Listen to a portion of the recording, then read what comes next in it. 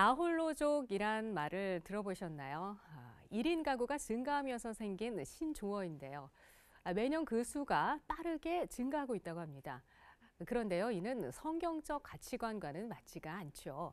그래서 오늘은 하나님께서 소중하게 여기시는 결혼과 가정의 가치에 대해 이야기 나눠볼까 합니다. 그레이스 웨딩 컨설팅 대표 조병찬 장로 모셨습니다. 아, 장로님 안녕하세요. 네, 안녕하십니까? 안녕하세요. 요즘 대중문화에서 이 혼자 사는 사람들의 얘기가 굉장히 많이 다뤄지고 있어요. 그래서 네. 신조어도 많이 생겼어요. 혼밥족, 혼술족. 네. 근데 이런 세태에 대해서 어떻게 보고 계세요? 예. 그 저는 그런 부분을 보면 아, 너무나도 안타까운 생각이 듭니다. 네. 왜냐하면 어, 지금 현재 그런 상태가 되다 보니까 아, 국가적으로 보면 저출산이 되는 거고 예. 우리 교회적으로 보면 상당히 심각한 그런 상태가 되고 있기 때문에 네. 어, 저는 하나님의 그 창조 원리대로 혼자 사는 것이 아니라 한 가정을 이루어서 행복하게 사는 것이 가장 아름답지 않나 이런 생각을 해봅니다. 네. 네. 아무래도 그 젊은 남녀들을 연결시켜주는 사업을 하시다 보니까 더 그런 생각을 가지실 것 같은데요. 예, 그렇습니다. 예. 그런데요, 그 결혼을 하지 않은 뭐 또 못한 그런 홍기가 꽉 찬 분들 중에 여성분들이 유독 많죠. 네, 많습니다. 예, 특히 기독교인들은 예 기독교가 어. 많습니다. 그분께 혹시 하고 싶은 말씀 있으세요? 지금 우리 그 한국의 그 형제 자매 비율을 보면 네. 어, 교회를 다니는 이그 그렇죠. 크리스찬인 예, 남녀의 크리스찬들, 비율을 보면 네. 크리스찬들을 보면 남자가 30%, 여자가 70%입니다. 절대적으로 남자는. 적고 여자가 많은데 네. 그 중에 또 여자들은 또 스펙이 좋아요. 아. 남자들보다. 아. 그러다 보니까 자매들이 사실상 결혼을 하는 부분에 대해서 굉장히 어려움을 겪고 있습니다. 아하. 자, 그러면 이런 부분에 대해서 어떻게 예. 하면 이 가정을 만들 수 있나 아, 네. 이런 생각을 제가 아, 기도하면서 이 일을 하고 있는데요.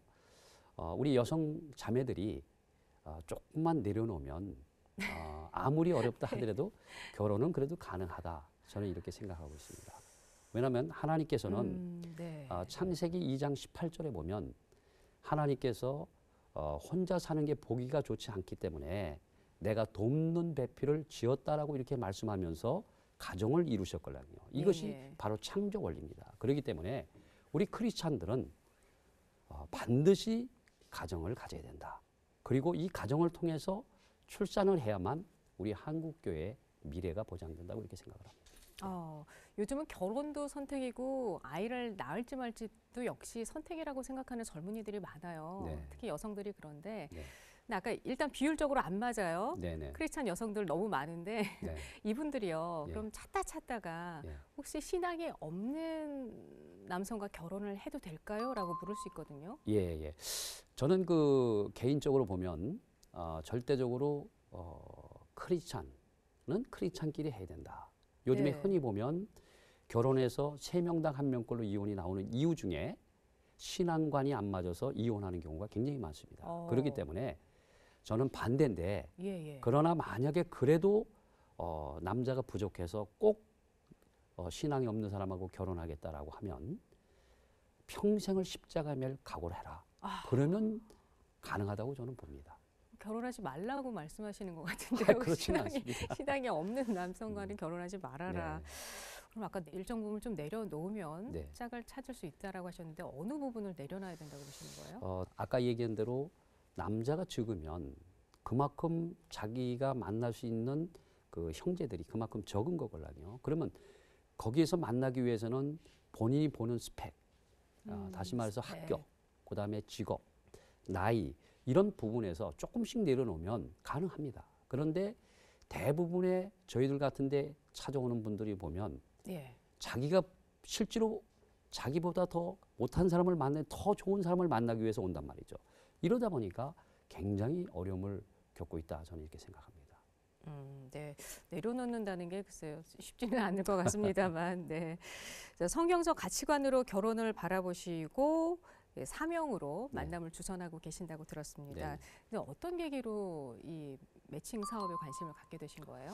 아, 원래 저는 그 이 결혼의 이런 중매하고는 전혀 어, 관심이 없던 사람 중에 한 사람입니다. 저는 아, 예. 아, 보험업계의 아, 판매왕까지 어, 최고의 자리까지 올라간 그런 어, 상태에서 예. 어, 보험업을 저는 한 30년 가까이 제가 아, 이 사업을 해봤습니다. 그래요? 그래서 엄청난 축복도 받았고 네. 또그 축복을 통해서 우리 목사님 모시고 전 세계 구석구석을 선교도 해봤고 자비랑 드려서요. 아, 예.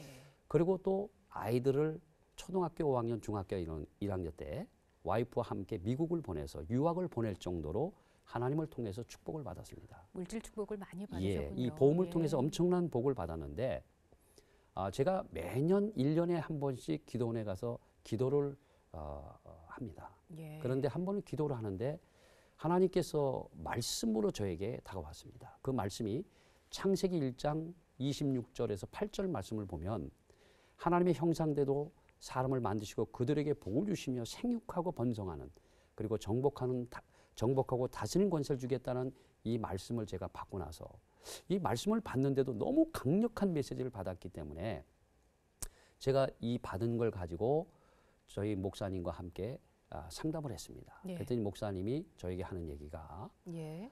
아, 우리 한국 교회의 가장 심각한 것이 결혼의 문제인데 하나님이 장로님을 선택한 것 같다. 이런 말씀을 주셔서 저는 어, 그 내용에 대해서 결혼 정보가 어떻게 하는지도 모르지만 하나님이 저에게 그러한 사명을 줬다는 그 말씀 한마디에 저는 사업자도 안 내고 예. 예, 무조건 오픈 예배부터 드리고 제가 시작을 했습니다. 어, 전혀 모르는 분야의 사업을 그러니까 시작을 하신 거예요? 그렇습니다. 두려움은 없으셨어요? 어, 두려움은 저 하나님께서 저에게 주신 메시지가 있기 때문에 아, 제가 이걸 마지막 사명으로 생각하고 제가 이제 그 분야에 이제 뛰어든 거죠. 아, 그런데 저는 이제 언뜻 드는 생각이 보험 판매 왕이셨다고 그랬잖아요. 예, 예, 혹시 그러한 경력이 예. 이렇게 남녀를 매칭시키는 데에도 어느 정도 좀 영향을 주지 않았을까 싶은데요. 그 제가 그래서 이런 걸 생각해 봤어요. 왜 하나님이 나 같은 사람을 선택했을까라는 아. 생각을 해 봤습니다. 왜냐하면 저는 어, 이런 결혼 중매에 대해서는 전혀 어, 관심도. 없었고 어, 잘 한 번도 해본 사람이 예. 해본 경험도 없는데 왜 하나님이 나 같은 사람을 선택했을까? 이러면서 제가 기도를 해봤습니다. 그런데 아, 그러면서 느낀 것은 뭐냐면 어쨌든 제가 아, 여의도 순복음교회 장로라는 부분과 제가 보험업계 판매왕이라는 이 노하우, 어, 네. 수많은 사람들을 상대했던 그런 노하우, 그러니까요. 예, 그리고 또 하나는 아, 제가 아이들을 미국에 보내면서 어, 미국을 왔다 갔다 하다가 제가 골프 티칭 프로를 제가 도전했습니다. 그래서 50대 초반에 이 사실 프로 라이센스를 딴다는 것은 굉장히 어렵지만 제가 라이센스를 따, 따면서 어, 제가 많은 교회에 아, 제가 그 자선 골프대를 진행하다 보니까 이런 것들이 어떻게 보면 하나님이 아, 저에게 예비한 아, 그런 상태가 아닌가.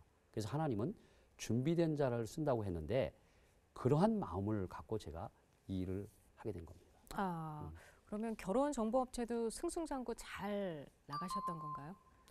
처음에는 굉장히 어려웠죠. 아, 왜냐하면 전혀 생판 모르는 부분이고 예, 예. 어, 또 제가 아, 영업을 많이 해봤기 때문에 그거 네. 하나 믿고 뛰었는데 예, 예. 제가 한 2년을 뛰어보니까 어, 한 200명 가까이 회원이 모이더라고요. 제가 할 수 있는 최대한의 능력입니다. 그게. 200명이면 너무 작은 거죠? 아, 적죠. 아. 어, 그래서 제가 하나님 앞에 기도하면서 정말 하나님이 저를 사용하기를 원했다면 예. 이건 아니지 않습니까? 라면서 아. 제가 기도했습니다. 하나님 앞에. 예. 그랬더니 하나님께서 하나의 계기를 만들어 주셨는데 그 계기가 바로 CBS 새롭게 하소서라는 방송을 출연하게 한 겁니다. 결혼이라는 것은 두 사람이 하나가 되는 거 아니겠습니까? 둘이 하나님 예. 네. 예. 그래서 어, 둘이 아니라 하나 하나. 이런 생각을 가지고 살면 어, 마음 어, 배려도 해줄 수가 있고 또 존경도 할 수가 있고 어, 그렇지 않나. 그래서 이 결혼이라는 것은 둘이 하나가 되는 것이 나는 결혼이다 이렇게 생각을 하고 있습니다. 예. 여기에 원래 간증 프로인데 간증보다는 이 결혼에 대한 주제를 더 많이 다루게 됐습니다. 아하, 이 예. 방송이 나가면서 전국에서 수많은 사람들이 문의가 오고 찾아오는 걸 보면서 제가 무엇을 느꼈냐 하면 야, 이 부산에서 나이 드신 분들이 그 자녀들 결혼 문제 때문에 엄청나게 고통당하는 것을 제가 깨닫고 예. 어, 하나님께서 어, 저에게 이런 사명을 준 거를 어, 열심히 하다 보니까 이 방송을 통해서 어, 하나님이 많은 사람들을 보내줘서 순식간에 1년 만에 예. 천 명이 넘는 숫자를 하나님 채워주셨습니다. 아, 그러면서 저희. 회사가 승승장구하게 된 거죠. 아, 그럼 지금은 회원이 어느 정도 되나요? 정확하게는 모르겠습니다만은 한 3천에서 한 3,500명 정도는 될 것 같습니다. 아, 제법 많은 숫자. 엄청난 숫자라고 아, 봐야죠. 그렇군요. 왜냐하면 네. 아, 저희는 아, 신앙이 없는 사람은 등록을 안 받기 때문에 네. 100% 신앙인으로 보면 엄청난 숫자입니다. 우리 한국에서는 가장 크다고 보면 됩니다. 아, 그런데요. 네. 그 결혼 정보 업체들이 거의 그 사람들을 일종의 스펙으로 네. 뭐 소고기 등급 매기듯이 이렇게 예. 등급을 나눈다고 들었어요. 네, 네, 네. 혹시 장로님은 어떻게 하시나요? 어, 저희가 이제 좀 차별화 둔 것은 뭐냐면 일반적인 결혼 정보 회사는 아까 얘기하신 대로 등급을 둡니다. 등급대로 어, 등록비가 엄청난 차등이 납니다. 200에서 1,500만 원까지 받는 이런- 1,500이요? 예, 그렇습니다. 그- 그렇구나. 근데 저는 네. 단지 둔다면 그 나이로만 조금 차이를 두고 있습니다. 그 나이로? 나이를 두는 이유는 네. 어, 아무래도 어, 젊은 그 34세 미만의 그 자매들은 형제들도 마찬가지입니다만은 예. 아, 자매들은 그래도 쉽습니다. 진행하기에 진행한다는 게 짝 찾아주기가 그렇습니다. 쉽다는 얘기예요. 예. 그런데 예. 35세가 넘으면 굉장히 진행하기가 두 배, 세 배 힘듭니다. 아. 그래서 그 부분만 조금 차등을 두고 있습니다. 아, 나이에 따라서 차등을 두고 그렇습니다. 예. 계시고요. 네. 근데 결혼의 가장 중요한 조건은 뭐라고 생각하세요, 장로님?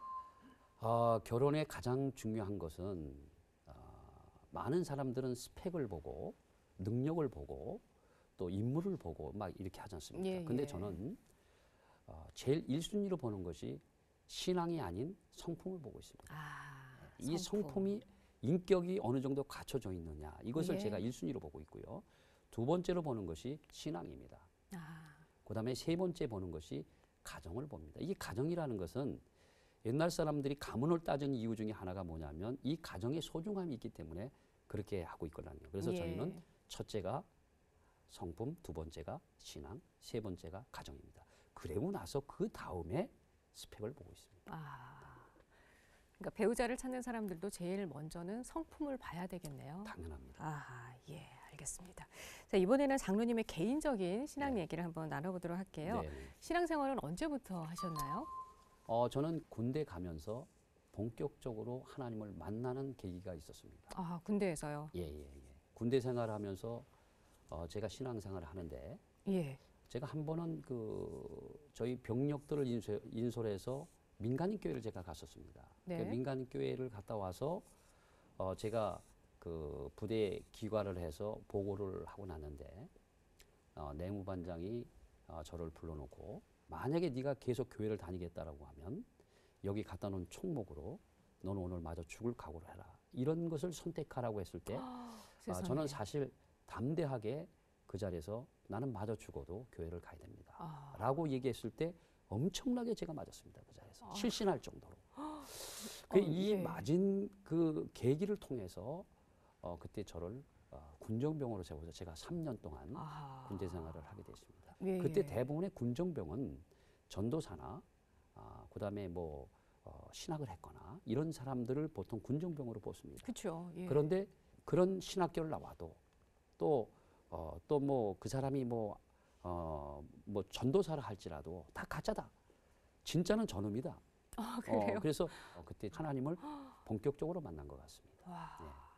온갖 핍박이 있었지만 예. 그 군대 내에서도 완전히 인정을 받은 거예요. 인정을 참. 크리스찬으로. 예, 예, 예. 그렇습니다. 네.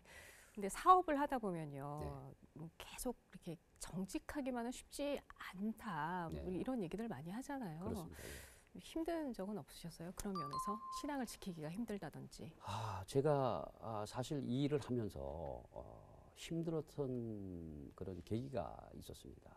그건 뭐냐 하면 어, 저희가 이제 그 가정들을 이렇게 만들어 주면 예, 예. 어, 뭐든지 이제 규정대로 모든 게 아름답게 서로 간에 지켜줄 부분을 지켜주고 가야 되는데 그렇지 못한 경우가 너무나 많습니다. 아, 제가 아, 최근에 아, 한 가정을 제가 아, 이렇게 짝을 맞춰서 이렇게 진행을 해줬는데 어, 저희들한테 반드시 얘기를 해야 되는데도 불구하고 얘기를 안 하고 자기들끼리 쉽게 얘기하면 도덕 결혼하는 경우가 있습니다.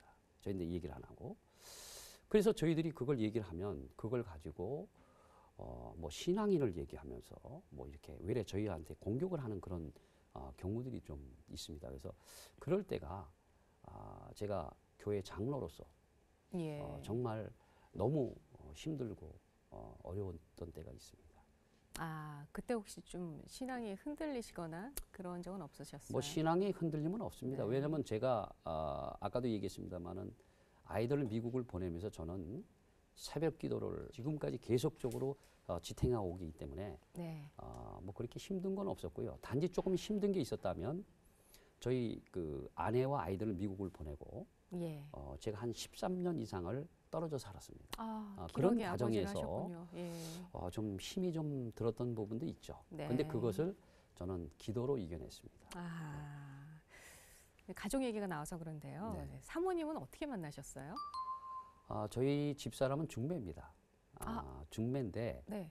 제가 사실 83년도에 제가 아, 상당한 그 부도가 아, 크게 나서 어, 그때 상당히 어려움을 겪고 있다가 아, 제가 쉽게 할 수 있는 그런 보험업에 제가 뛰어들어서 아, 그러셨군요. 어, 거기서 이제 종사를 하고 있는데 거기에 있는 한 분이 어, 저를 좀 그 가든 호텔 지금은 저 어, 마포에 있습니다만은 거기서 예. 잠깐 차 한잔 마시자고 해서 나간 곳이 네, 네. 바로 저희 아내와 만나게 된 동기가 된 그런 계기가 예. 됐습니다. 아, 그냥 만남은 그냥 별로 이렇게 드라마틱한 내용은 없고 평범하게 만나신 평범하게 것 같은데요. 만났습니다. 네. 예, 예. 사모님이 네. 신학 공부를 하셨다면서요. 네네.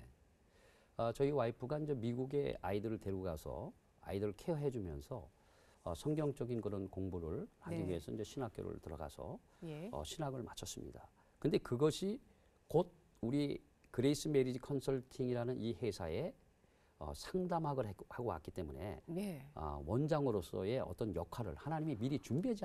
준비시키지 않았나 이런 생각을 저는 해보고 있습니다. 오, 네. 큰 도움이 어, 되시겠어요. 상당한 도움이 되고 있죠. 아, 네. 예. 그리고 결혼 정보업체를 운영하시다 보니까요. 그러니까 자녀들에게도 결혼을 이렇게 많이 준비를 시키셨을 것 같은데요. 뭐 네. 특별한 뭐 교육 방법이나 뭐 노하우 같은 게 있으셨을까요? 어, 저는 그 아이들한테도 늘 얘기했던 게 예. 결혼은. 어, 미리미리 준비를 해야 된다. 이런 생각을 저는 갖고 예. 어, 아이들한테 30 전에는 반드시 결혼을 해라. 아, 이런 것을 저는 아이들한테 주문을 했습니다. 서른 전에 못 만날 수도 있잖아요. 못 만날 수 있지만 어, 그런 어떤 그 교육이 아이들한테 필요하다고 저는 아, 생각합니다. 결혼을 지금 준비하는 교육. 예, 지금 우리 한국 교회에 이 결혼이 늦어지는 이유 중에 하나가 이런 준비가 안 됐다는 겁니다. 아, 어, 부모들이 아이들을 가르칠 때는 공부 이런 부분에 대해서는 엄청난 투자를 하면서 준비를 시키는데 그죠. 일생의 가장 중요한 이 결혼에 대해서는 대부분의 부모님들이 그런 준비를 시키지 않습니다. 아, 때가 되면 데려오겠지. 예. 얘가 뭐 공부만 잘 마치면 직장만 잘 들어가면 데려오겠지. 이런 생각을 갖고 있다 보니까 보통 그렇죠. 예, 결혼의 시기를 놓치는 결과가 되지 않느냐. 저는 그래서 예. 아이들한테 그런 얘기도 하고요. 예. 또 많은 그 부모님들이 저한테 상담이 오면 반드시 아이들은 30 전에 아, 결혼을 시켜서 해야 됩니다라는 얘기를 제가 얘기하고 있습니다. 준비를 해야 된다고 하셨는데요. 네. 어떻게 준비를 해야 된다는 말씀이세요? 30 전에 기도로도 준비를 해야 되고 예. 아이들이 결혼을 왜 해- 해야 되는지에 대해서 어, 아이들한테 교육을 시키는 이런 준비 아하, 과정을 얘기하는 겁니다. 가정의 소중함에 대해서 계속 알려줄 필요가 그렇죠. 있다. 예, 예. 아하, 예. 자, 이번에는 그 예비 부부나 신혼 부부에게 들려주실 말씀이 또 있으실 것 같아요. 네. 어떤 조언을 해주시겠습니까? 요즘에 그 제가 보면 결혼을 해서 이혼하는 부분이 아, 결혼한 이후에 1년 안에 이혼하는 경우가 굉장히 많습니다. 지금 제가 보면. 아, 예. 그래서 우리 그 기독교인들도 세 명 당 한 명꼴로 이혼을 하는데 아, 그런 부분들이 그렇군요. 어, 제가 보면 어, 이 1년 동안의 그 기간이 굉장히 중요하기 때문에 그 저희들은 그래서 어, 1년 안에 앞으로는 결혼시킨 그 신혼 부부들에게도 예. 어, 세미나를 열어서 가정에 대한 소중함을 예. 어, 그 강사를 불러서 어, 세미나를 열어줄 그런 계획을 지금 준비하고 있습니다. 네, 정말 필요할 것 같습니다. 예, 그렇습니다. 예. 네. 자, 지금까지 혹시 성원시킨 커플이 어느 정도나 될까요? 어, 제가 숫자적으로 정확하게는 모르겠습니다만은 어, 한 천 명은 넘지 않겠는가 이런 생각을 해보고요. 네. 일 년에 저희가 한 아, 아, 300명 정도의 아, 결혼을 어, 시키고 있는데요. 와. 우리가 1월 달에만 해도 15쌍이 어, 지금 저희들이 아, 상견례를 준비하고 있습니다. 어, 그러면 성적이 좋은 편인가요? 그 어, 정도면? 굉장히 좋다고 봐야죠. 아, 네. 혹시 그 천 커플 정도 되면 뭐 기억이 잘 안 나실 수도. 있겠습니다만 예, 예. 그 중에서 네. 그래도 좀 기억에 남는 예. 커플이 있다면 부모님을 통해서 저희한테 상담이 아, 온 자매가 있습니다. 아, 이 자매는 예. 부모님이 27부터 미리미리 준비해서 결혼을 시키기 위해서 일반적인 결혼정보 회사에 어, 한 네 군데 정도, 한 3년 동안에 투자한 돈이 엄청난 돈을 투자를 했습니다. 아니, 그렇게 해서 돈이지만 예, 네. 결혼시키기 위해서 애를 썼는데 네, 네. 결국은 결혼을 3년 동안에 못 시킨 거예요. 아, 그러다가 저한테 상담을 아, 와서 그 자녀를 제가 만나서 진행하는 과정에서 제가 여쭤봤습니다. 그 아이한테 어, 혹시 어떤 사람을 만났냐? 그랬더니 예. 주로 만난 게 전문직을 만났더라고요. 아, 근데 예. 제가 소개해 준 사람은 어떤 사람이냐면 제가 기도를 하다가 하나님께서 저에게 어떤 마음을 주셨냐면 목사님 아들인데 예. 전도사를 소개하게 됐어요.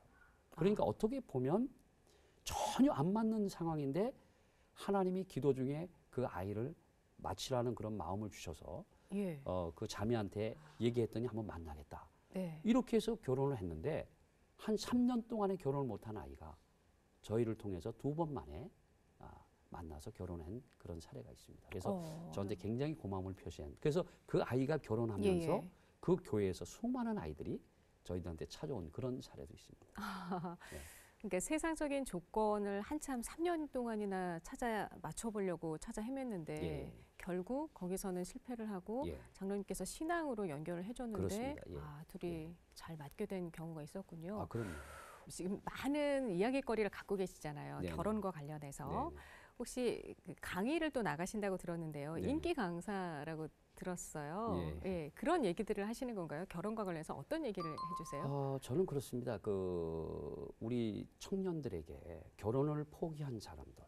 어, 아. 그럼 왜 이 청년들이 결혼을 포기했을까? 왜 결혼을 안 할까? 이런 생각을 해봅니다. 결혼을 혼자 하는 것이 아니라 패밀리가 하는 거라고 저는 생각하고 있거든요. 그렇기 예, 때문에 예. 이런 부분에 대해서 청년들에게 우리 어, 청년들은 반드시 결혼을 해야 된다. 이건 하나님의 명령이다. 이런 얘기와 우리 크리스찬들이 결혼하기 위해서는 어떻게 해야만 행복한 가정을 만들 수 있는지 제가 말씀을 통해서 어, 연결해서 풀어나갑니다. 네. 누구나 다 행복한 가정을 꾸리고 싶어 하지 않을까 싶어요. 그리고 네. 좋은 짝을 만나고 싶고요. 네. 그러려면 어떻게 준비를 해야 되고 어떤 배우자를 배우자를 위해서 기도를 어떤 방향으로 드리는 게 좋을까요? 어, 지금 그 어, 정말 좋은 배우자를 만나기 위해서는 예. 아, 물론 첫째는 기도입니다. 기도하면 하나님께서 응답을 하는데 네네. 응답만 한다고 해서 기다려서는 안 됩니다. 근데 기도를 할 때 말이죠. 네. 뭐 이런 이러 이러 이러한 사람을 꼭 만나게 해 주십시오. 네. 이런 기도 이거 바람직한 걸까요? 어, 저는 그게 필요하다고 봅니다. 아, 예. 하나님은 구체적인 기도를 원하시거든요. 그래서 내가 결혼 기도할 때는 구체적으로 본인이 아, 설정을 해서 기도하면 하나님이 들어주시는데 예. 그 들어주는 것을 그냥 아, 앉아 있으면 안 되고 찾고 두들겨야만 그런 문이 열린다.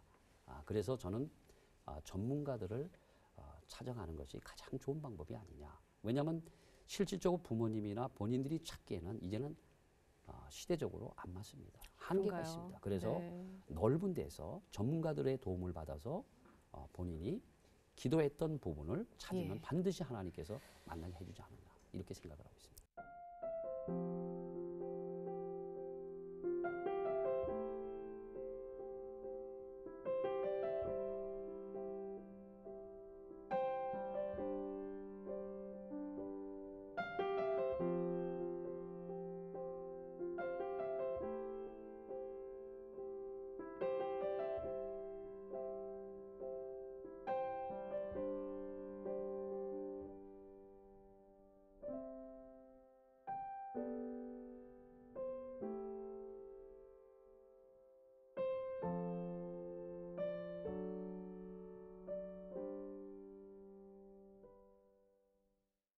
네, 많은 청춘 남녀들이 짝을 찾기를 바라면서 네.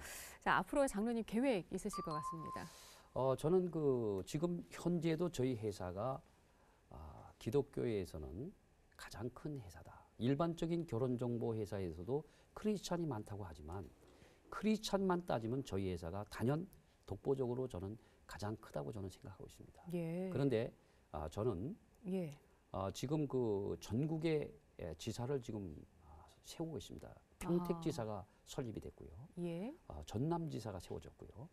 어, 캐나다의 토론토에 아, 저희 지사가 생겼고요. 해외에도 있습니까? 예, 그렇습니다. 아하. 그리고 뉴욕 지사가 지금 어, 준비가 다 해서 지난번에 왔다 갔고요. 이렇게 해서 저는 전국의 국내에 한 20개 이상의 지사를 지금 내년 안에 세울 계획을 하고 있습니다. 그렇게 세우고요. 예. 그다음에 해외 쪽에도 네네. 어, 미국 쪽과 아, 캐나다 쪽을 중심으로 해서 한 열 군데 정도 이렇게 계획을 세우고 있습니다. 그래서 이런 걸 통해서 우리 크리스찬들이 예. 이제 그레이스 그러면 누구든지 와서 쉽게 원하는 사람을 만날 수 있는 그리고 신뢰가 되는 그런 회사를 아, 만들기 위- 위해서 제가 기도하면서 또 그와 같은 그런 지경의 털을 이렇게 하나하나 넓혀가고 있습니다. 아, 네. 해외에 있는 지사들도 좀 거의 교포들을 위한 지사라고 보면 되겠죠. 어, 이렇게 보면 됩니다. 그, 그 지역에 있는 분들이 어, 실질적으로 저희들 홈페이지를 통해서 미국에서 어, 저희들한테 결혼 요청이 들어와서 아, 한국에 있는 사람을 만나시군요. 예, 아하, 그래서 예. 한국에 있는 자매와 요번에 결혼시킨 경우도 있습니다. 어허. 아, 결혼도 시켰고 예. 또 어, 미국에 있는 부모가 자녀가 한국에 나와 있단 말이죠.